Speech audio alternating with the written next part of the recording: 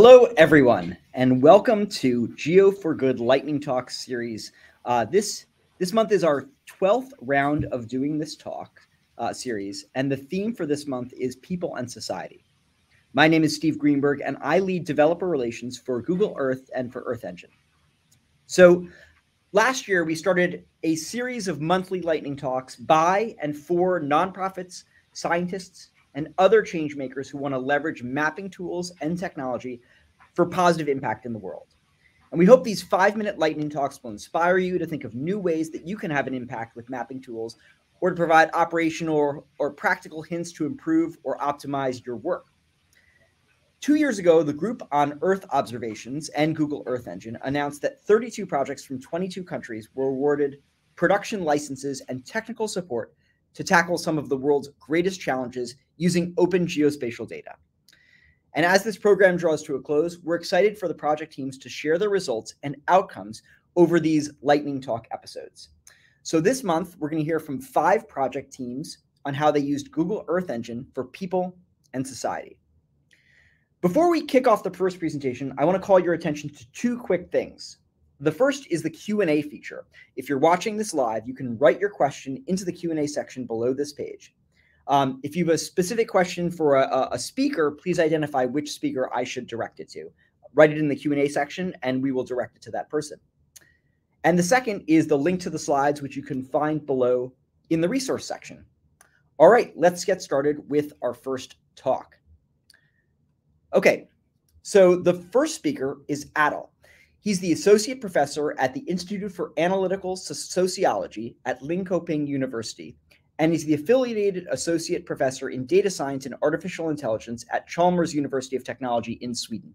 I apologize if I mispronounced any of those names. His research has both a social scientific and a methodological orientation. For the social sciences, he researches the effect of public policies and sudden shocks on global poverty. And for methods development, Adel implements novel methodologies in machine learning, remote sensing, and casual, excuse me, causal inference to analyze poverty. So let's hear his talk. So, despite progress uh, that humanity has made over the last century, uh, many children still die uh, globally. And that is because of poverty and unequal access to, to resources. Now, part of the, the problem is uh, that uh, communities might be trapped in so called poverty traps. Uh, now, to analyze poverty traps, we need a lot of data uh, across different dimensions of poverty. So, for example, here you see access to drinking water that uh, we can characterize to exist in different levels. So, the very poorest exist in level one, where they have uh, no access to water uh, in their household, but have to move or travel far to find uh, clean and safe water. Whereas if you compare it to different other dimensions, you see the same uh, type of, of uh, levels of difference uh, over time. Now, if we look at the uh, global population distribution, we see that uh, there are about 7 uh, individuals on this planet, a bit more today, but about one seventh of them live in these living conditions that you see here listed on level one. Whereas the richest, which is what we are used to in the Western world, is level four type of uh, living conditions. To analyze uh, the causes and consequences of poverty, uh, we need, as I said, a lot of data. We need these Y variables that exist in different dimensions.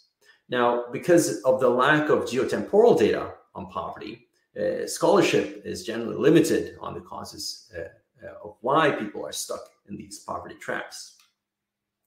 So what we do at the AI and Global Development Lab is that we combine AI, Earth observations, and social sciences to analyze the consequences and causes of global development, both historically, geographically, and globally. So our lab currently is generating such uh, data by combining these uh, different uh, uh disciplines.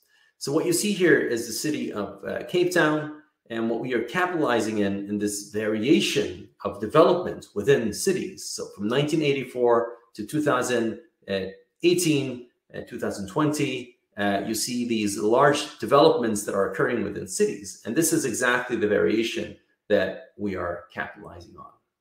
So the problem here is that what we do and how do we do this? Well, basically we have these points that are surveys, survey points that we gather from existing surveys.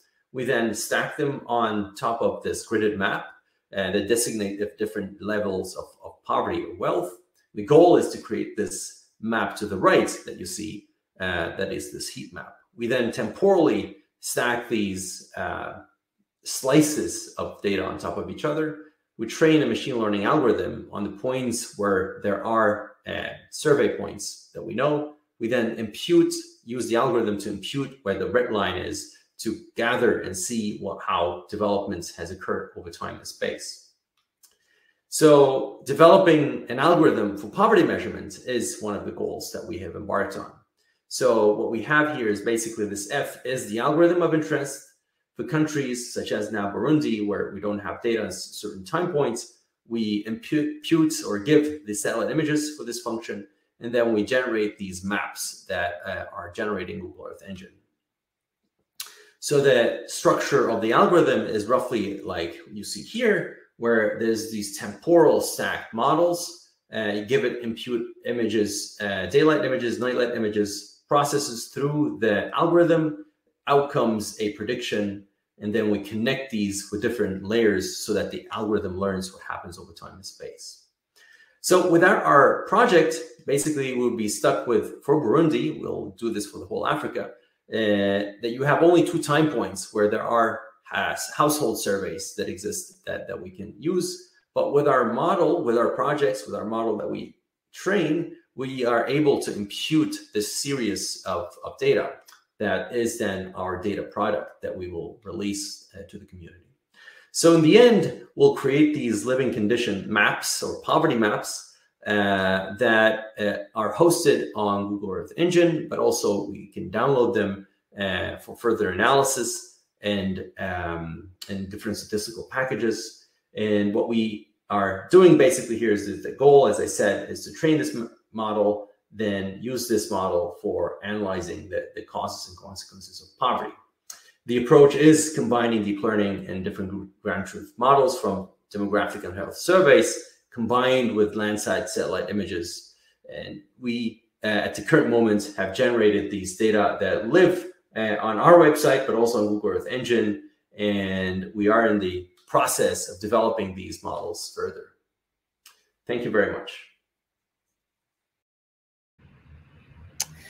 All right, thanks. Um, Adel, I found that to be an incredibly inspiring talk when I watched it. And um, you know, one of the things I think about here is is fairness and transparency in the model itself, because these are incredibly high stakes, uh, high impact conclusions that you're reaching. So, what steps do you take to make sure your model is fair and transparent? That's an, an excellent, uh, excellent remark. So, what we um, are, are currently focused on is really just getting the sort of the prediction rate as, as, as high as possible. So getting basic measurements uh, is, is really the, the goal here. And the, the second step is to uh, then use those things to also get predictive uncertainties to be like basically narrow down how well we can measure these things. The second thing is really to think about these fairness questions and, and transparency. We aren't really at that stage yet where we are mm-hmm. sort of uh, reasoning uh, uh, precisely about these things, but we are sort of incorporating the, the, the, privacy aspect and the fairness aspect to this so to make it sort of widely available for these communities. That's great. And it's also interesting to hear that the uncertainty is something that you're already measuring. Well, thanks a lot, Adel. And there'll be more time at the end of the presentation for questions for all of our speakers. Um, but you. I think I'm going to move on next to our second speaker. Um, our next speaker is Rudiyanto. He's a lecturer uh, in the program of crop science at the Faculty of Fisheries and Food Science at the University of Malaysia, Terengganu. And I, again, I apologize for pronunciation problems.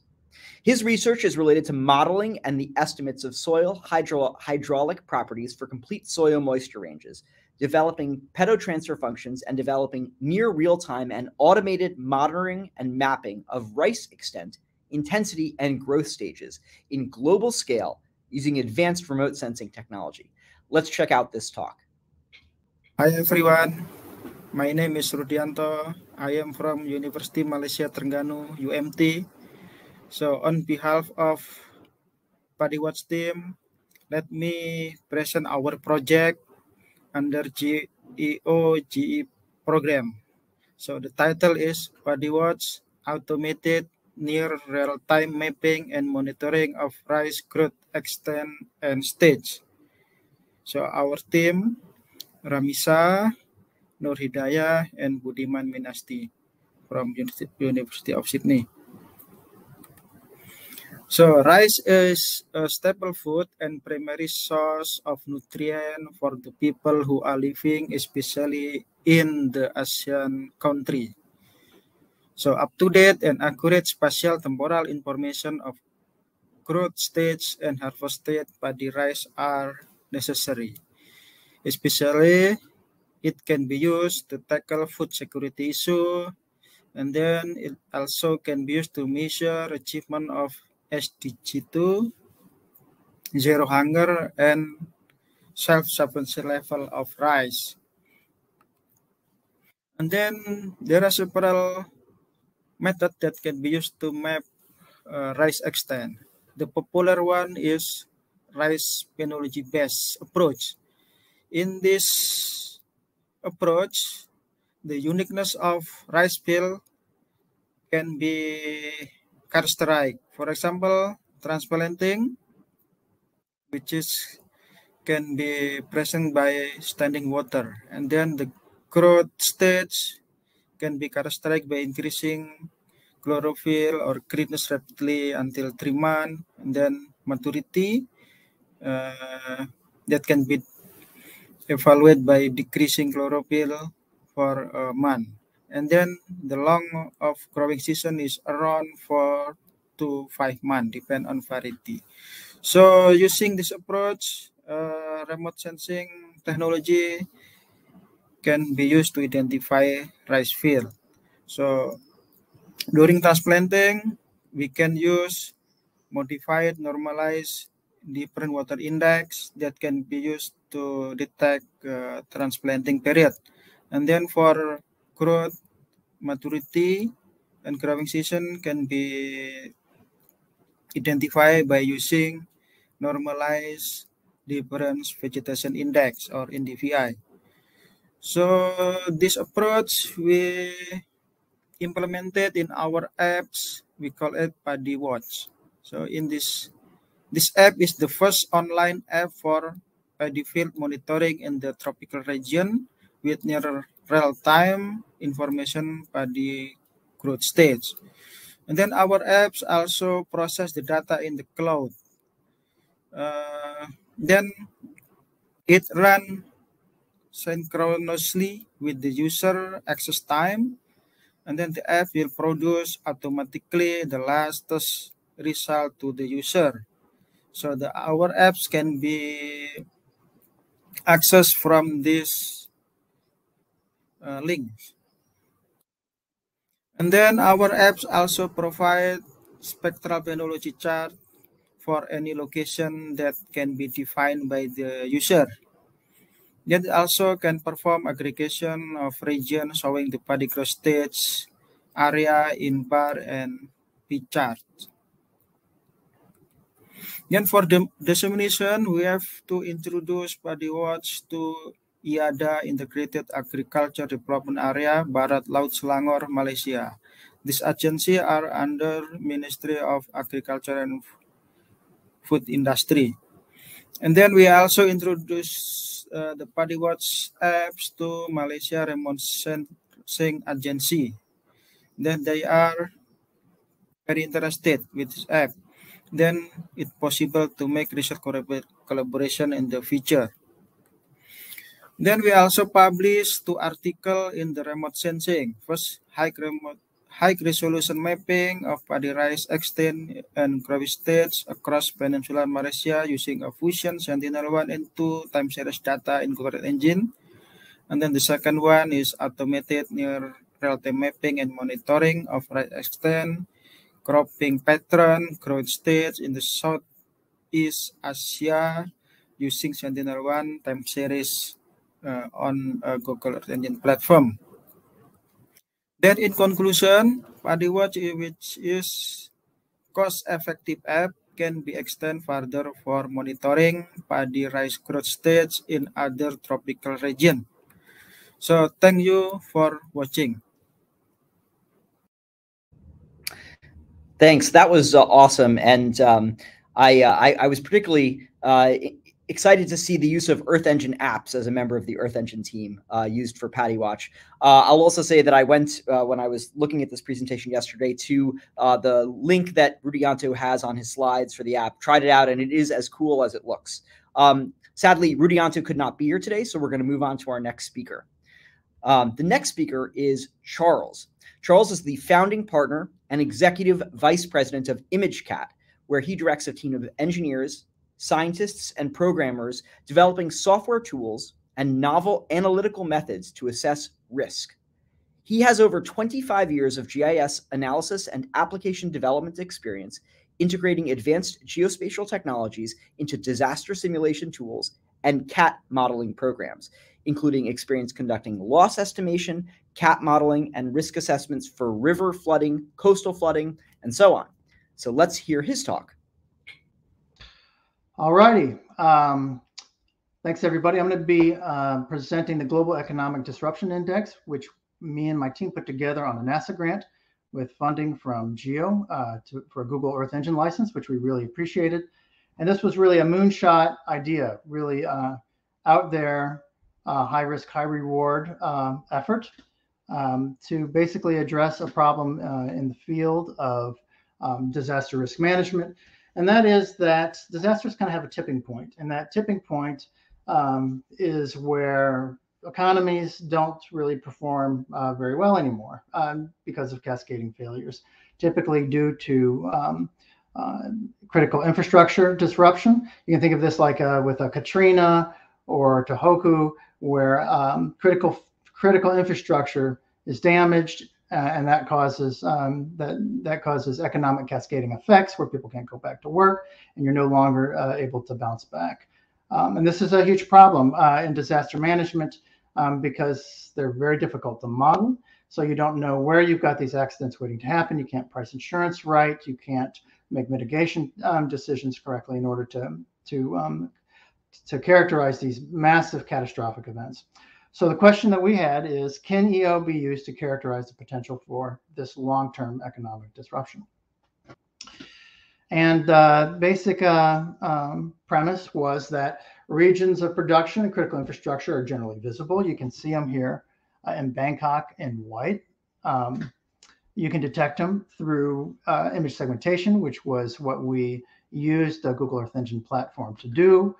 Once you do that, you can overlay global hazard data sets and then use standard um, uh, CAT modeling techniques to basically um, characterize the resilience and the vulnerability of the country to uh, impede production digitally, so to speak, uh, and and put that off into uh, um, input, output, and other economic models to be able to characterize um, the economic disruption. So this was our overall uh, theory.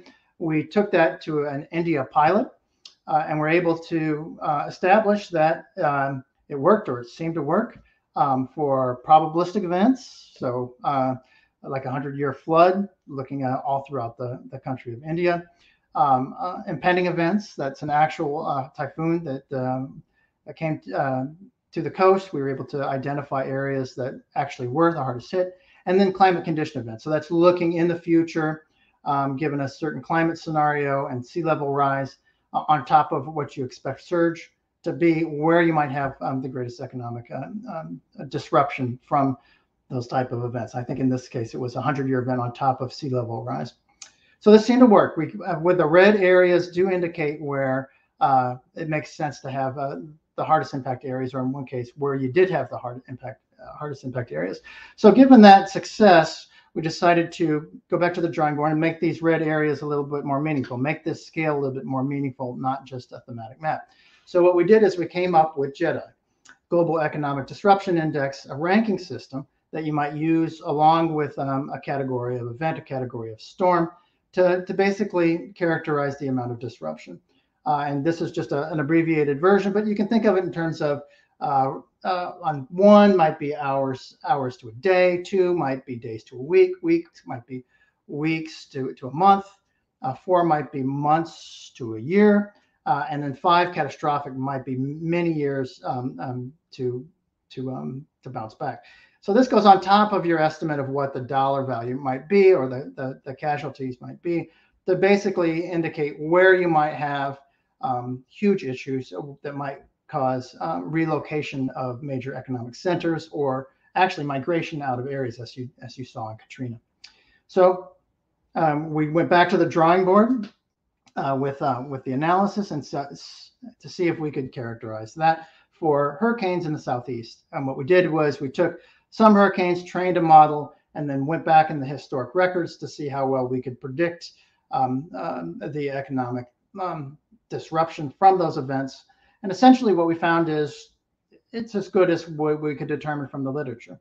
We were able to basically characterize uh, how long uh, the economy uh, would be out and what might happen to the economy and the critical infrastructure given an event of a certain size. And we see this as being very useful um, for real-time advisories. You know, you can connect this to like a Shakecast uh, advisory from USGS or a NOAA uh, alert. It's very useful for corporate uh, real estate and um, global interests that have uh, interests all over the globe. They don't necessarily know exactly where they are, and they don't know what the risk is associated with these areas. And they're trying to get a handle on what's going to happen with climate change. So you can use this type of a modeling system to, to identify uh, those, those hazards. Uh, can be an extension to CAT modeling tools, kind of as we demonstrated here there for India. Um, and it can be able to, you can use it to, to prioritize infrastructure projects uh, in the developing world, for example, or identify where you might have that um, nuclear power plant that's a, that is susceptible to surge or where that really needs to be hardened. And that's what I got. Thanks very much.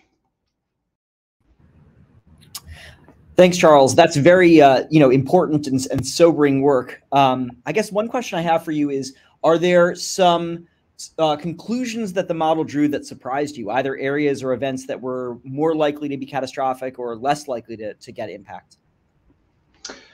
Well, I think that uh, one of the things that surprised us was how applicable it was to different areas than we anticipated that we were modeling. You know, once we started, once once we drilled down all the way to looking at economic impact.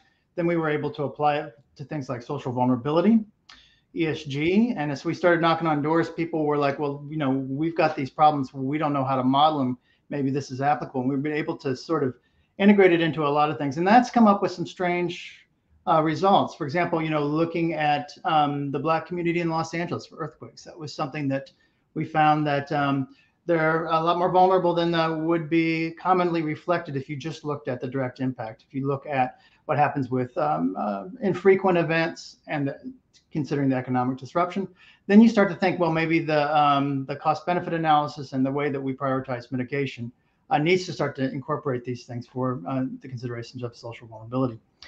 And TCFD, um, SEC are starting to come up with lots of regulations that uh, that businesses have to follow. And they don't really have the tools to do that and they can't spend all their time collecting all of that data.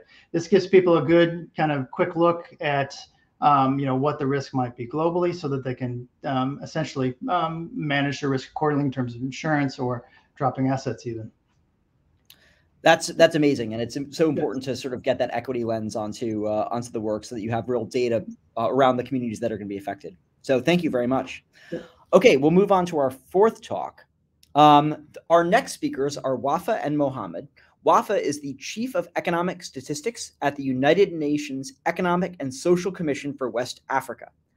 Assisting Arab countries in statistical capacity building and implementing statistical standards, such as the system of national accounts and the system of environmental economic accounting in relation to sustainable development goals in collaboration with the United Nations Statistics Division, other United Nations agencies, and many other partners. Mohammed has a master's in business analytics. He also works at the United Nations Economic and Social Commission for West Asia. Uh, Mohammed's main focus is typically machine learning, but he shifted to Earth observation for this topic. So let's watch the talk. Yes, hello, everyone. Uh, we'll be talking about remote sensing for flood monitoring and disaster management in local communities in the Nile Basin and coastal areas in Egypt. Um, just an overview, there are many challenges uh, in, in Arab countries, uh, socioeconomic and environmental. We list a few of them.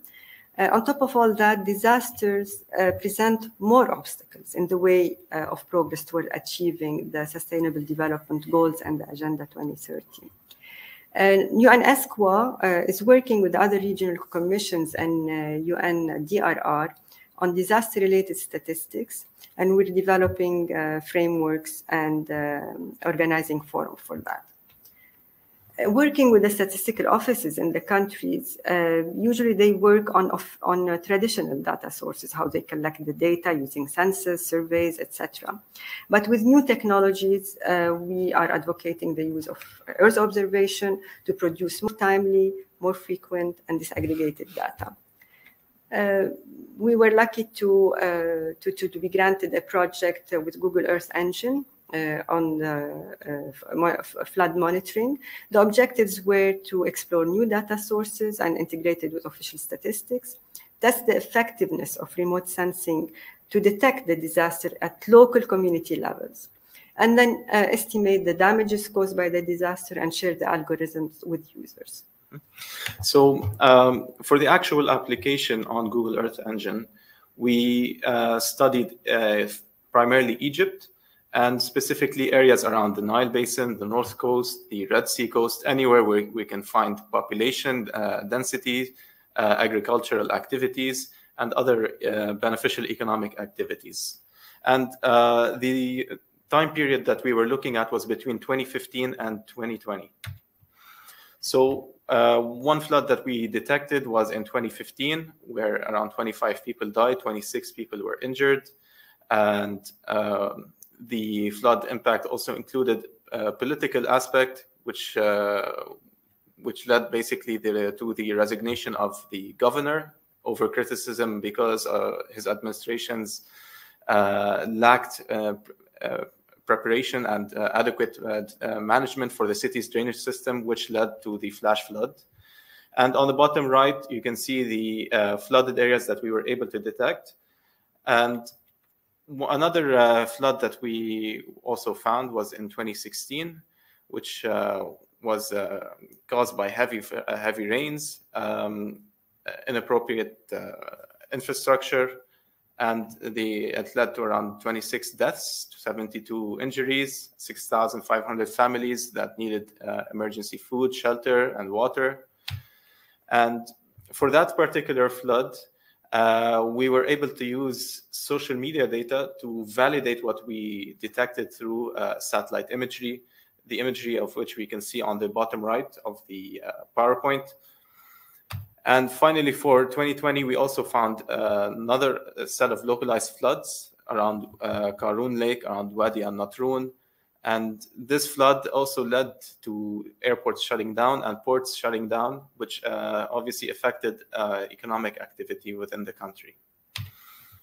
Yes, so one more thing also in many of those areas, very highly uh, uh historical sites are affected. And this takes another uh, very important uh, study that we have to, to work on. Now, the main challenges of the study was that uh, uh the, the local statistical offices uh, need more mandate to work on remote sensing, need to help their uh, staff to build their capacities, and need to coordinate better with other agents. The opportunities were that um, we were able to generate more inclusive flood maps, uh, even for small communities. Uh, and then um, the people were able to see their posts on social media to support the disaster analysis. And then what we're doing now to just um, uh, develop the tools to share with everyone who want to use it and a guide on how to use um, Earth observation and GEE in general. Thank you very much. Thank you. Uh, thanks very much for that talk. And I also want to quickly say, I think I said West Africa when I was introducing uh, UN ESCWA. It is West Asia. Apologize for that. Um, Wafa and Mohammed, can you describe the data and the signals in remote sensing data that were most useful in your model for detecting these floods? Uh, um, sure thing. Uh, yeah.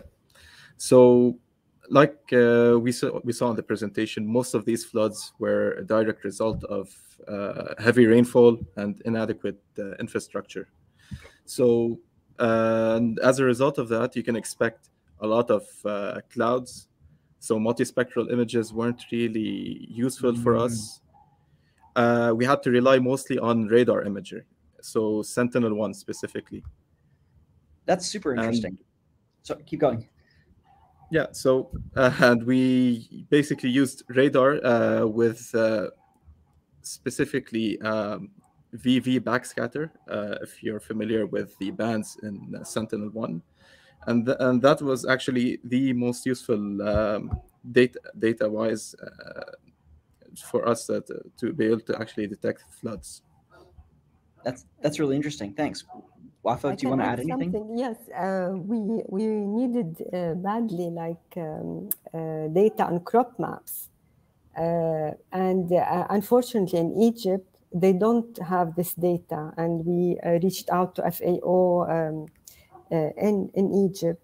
Uh, so they do just um, surveys of the crops and annual. Uh, so this is a backdrop because we couldn't really uh, you know use what crops uh, what type of uh, damage to agricultural areas uh, whereas in other countries they have the crop maps uh, and, and they are available That's great. So you were you had to you had to find that information yourselves. Uh, thank you very much. Um, I'm going to move on to our last talk. Um, the last speaker is Elio. He is the researcher and lead data scientist at the National Institute for Statistics and Geography in Mexico. Elio's interests include machine learning, neural networks, and data science applications with high social impact. Currently, he is working on research projects to develop modern methods to take advantage of alternate data sources to produce experimental statistical and geographical products at the national level. So let's check out his work. Hello, this project is a collaboration between the National Institute of Statistics and Geography, the National Polytechnic Institute of Mexico, and the University of California at Santa Cruz. Poverty is a complex problem with many phases. One of these phases is the emergence of and proliferation of vulnerable settlements. Last year, the scene in the picture happened at El Cerro del Chiquihuite, in the hills just outside Mexico City. The cause of the disaster was not an earthquake, but an intense rainy season.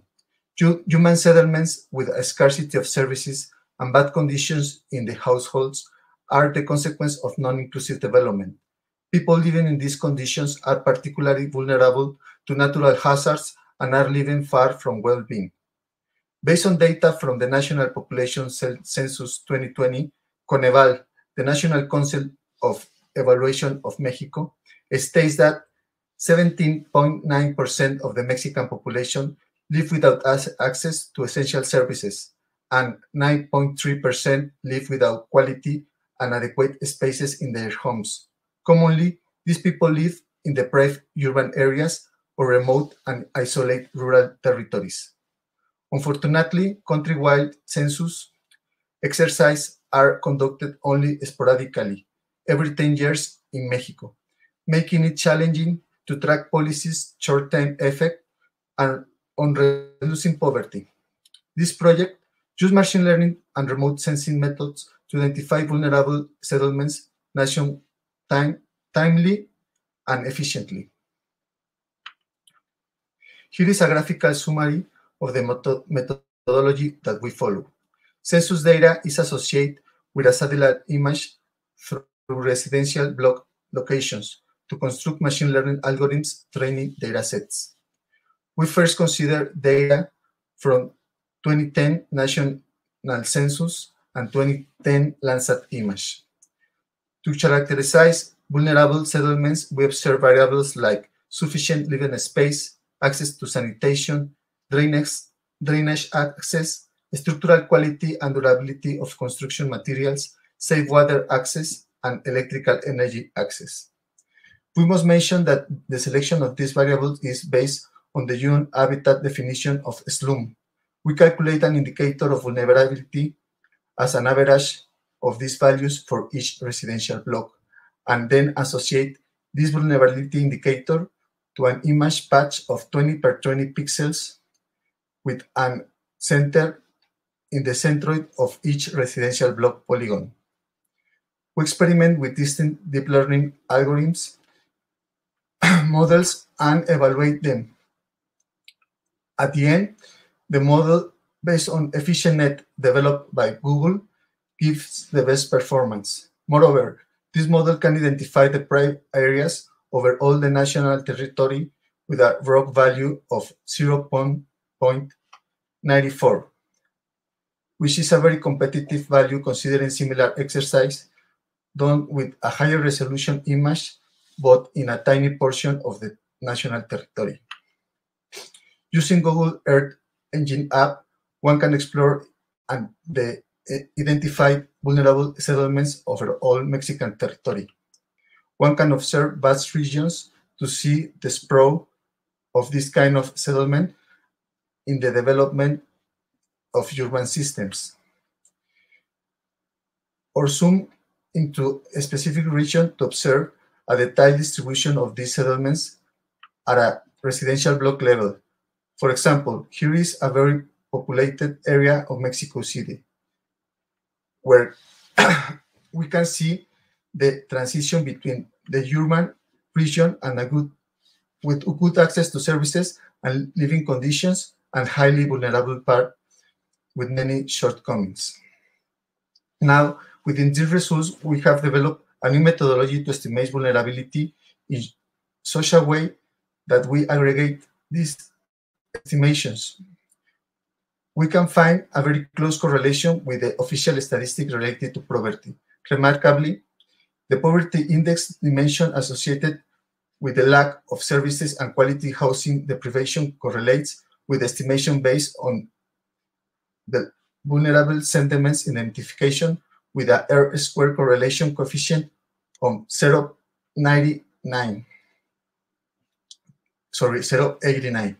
Moreover, we can show how this vulnerability has evaluated in the last 30 years, given the availability of Landsat image. Finally, given that official statistics for poverty are given, given every five years at a municipality level, we think that with these results, we can provide decision and policymakers with a tool that allows them to evaluate timely poverty mitigation policies. Thank you for attending to, to this lightning talk. I will be happy to answer your questions. Uh, Elio, thank you so much for this in incredibly important talk.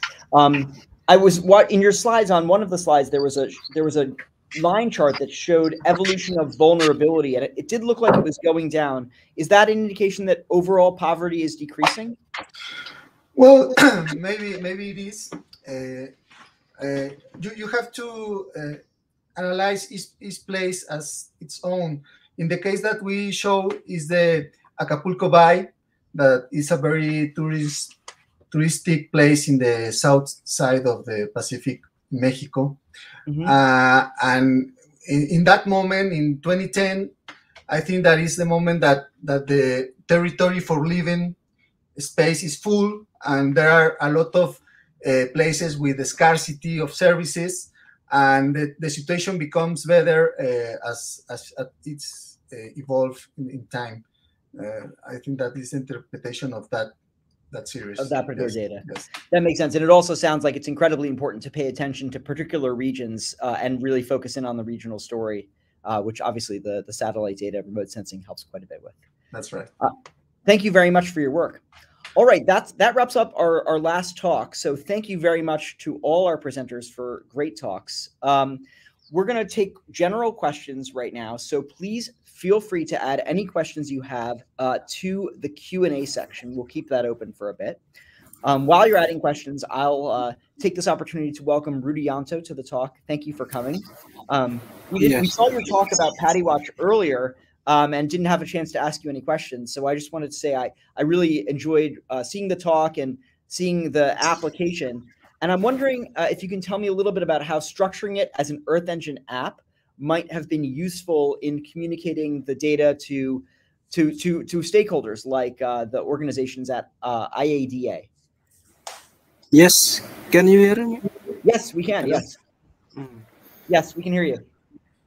Yes, uh, this app will be very important yeah, for them.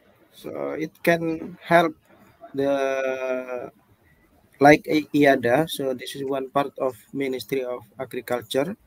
So they can monitor yeah, their uh, rice extent area. and then the one of the important things uh, uh, they need to to determine yeah, the rice extent area uh, whether it is convert or not yeah right. So they they draw the rice extent. Yeah. Yes. sorry keep going. And then after that it, it uh, can help government to estimate yeah, the rice extended related to self-sufficiency level, whether it is achieved or not. Thank you so much. So they're focusing in yes. on the area that of interest for themselves. That is great. Um, thanks. Uh, I'm going to keep moving on to some of the questions that I've seen in in in the chat, Raleigh. Uh, but if you want, if there are any others, feel free to put them in here. Um, for Adel, it sounds like the DHS survey data was important for this project. Um, as you think about scaling to other countries, is this type of data widely available, or will you need other household surveys to be done? Yeah, so we, we have um, the demographic health survey is widely available in low and middle income countries, uh, starting from reliably being measured from the 1990s, early 1990s uh, up to date, still being measured and the benefit there is that it's standardized across these countries. Uh, roughly speaking, the same surveys. There are some variations in modules, uh, but roughly speaking, they're they're measuring the same thing. Um, now, if we want to extend this globally, like fully going global, ca capturing you know North America, uh, Europe, and so on and so forth, we need to standardize again, yet again. So we would probably go with something like income uh, that would be the measure of, of interest. But that is also hard because it doesn't usually come with with a GIS tag at the neighborhood level. Got it. Okay, that's really interesting. Thanks. Um, let's see. I'll move on to a question for Charles. Um, how are the medium to long term climate change impacts affecting the model? How are they being integrated into your catastrophe model? Well, that's um, that's an interesting question. What we do is we depend on others who determine what the hazard is uh, for us. So we we incorporate, you know, a flood hazard, for example, um, uh, coastal surge, um, and and what we we've done is uh, integrated new hazard layers to reflect, say, an RCP 8.5 2050 2070 scenario for those flood uh, and surge um, hazards, for example so that people can actually start to forecast what the the economic impact may be given future climate scenarios. So it's it's very handy for that. Okay, that's great. Yeah. Um, all right, a question for Wafa and for Mohamed. Um, you mentioned that you used social media data that that people saw their own uh, sort of experiences reflected in the model. Can you tell me a little bit more about that, or was the was the social media data in, incorporated into as an input to the model? Uh, so the social media data was uh, used to validate our results to make sure like anything that we uh, delimited on the map anything that we were able to predict on the map was actually uh, a real case of a flood and we have the images to prove it thanks to everyone that's uploading their images onto twitter we also actually looked at uh, extracting uh, through nlp the uh, different uh, disasters that are happening for a monitoring tool, but this is ongoing and uh, on the site. And it's as a direct result of the project we started with GEE. Got it. Wafa, if you're talking, you are muted. I can add just something quickly. Uh, we tried also with the research center uh, to use like the Arabic language because some of the tweets mm. are in Arabic. And then, like Mohamed said, uh, to, to, to use an NLP to catch these, uh, but it was very difficult to, to do the exact words that, that people use, you know, in, in case of um, like, uh, different types of, of disasters. But uh, we, we're still working on this with the research center. That's really interesting. Thank you.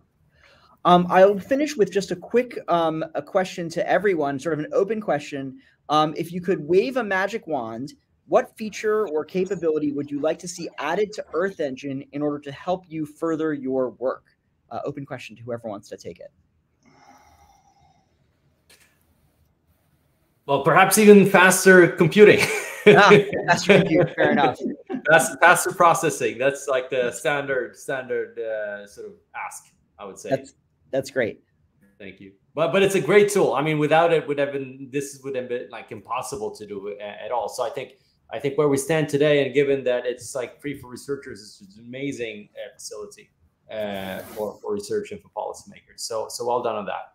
Thank you, Adel. That's great to hear. Uh, we'll we'll get, get, working on the more on faster compute as well. Uh, anybody else? Yes, may I add, Adel, you talked about surveys, and we saw in Mexico they used census. So mm. maybe uh, having those uh, maps from countries would be very, very helpful. That makes sense. Census maps from particular countries. Exactly. Yeah. Okay, that's great. Um, Wafa, thank you. That's a great idea for a new data set. Any other data sets that folks would like to see added to the catalog? There is this uh, website called aiddata.org uh, that hosts a lot of uh, uh, geotag data. So everything from World Bank, you know, Chinese programs that are located uh, across the globe, that would be a fantastic asset to, to also link to the um, uh, Google Earth Engine. That's great. Thanks. I'll take a look. And Elio, you looked like you might have wanted to say something. Yes, maybe higher resolution images. Mm -hmm. That mm-hmm. would be great. Great. You know, this might actually be in there already. I don't know. But uh, one of the things that we're trying to, to figure out is how to provide services to other platforms through an API that might call Google Earth Engine. Um, I don't know how hard that's going to be to do or if it's actually embedded in there somewhere. Uh, yeah. There are patterns for doing it today, but definitely some of them can be better documented and there's more piping, always more sort of like pipelining and interoperability work to do. In fact, yeah. I think that's my next meeting right after this one is talking about that topic. Well, you can tell um, it was requested. I, I, I will. Uh, I'm going to take this opportunity to wrap us up. Um, thank you all for for the great talks here, and um, a special thank you to our speakers for presenting today. Thank you to the audience for engaging and listening and asking some of these questions. We hope you're inspired to go uh, with these ideas to go and do your own research. Uh, so again, thank you so much, and stay tuned for our next Lightning Talk series. Goodbye for now. Thank you. Thank, Thank you. you. Thank you. Thank you.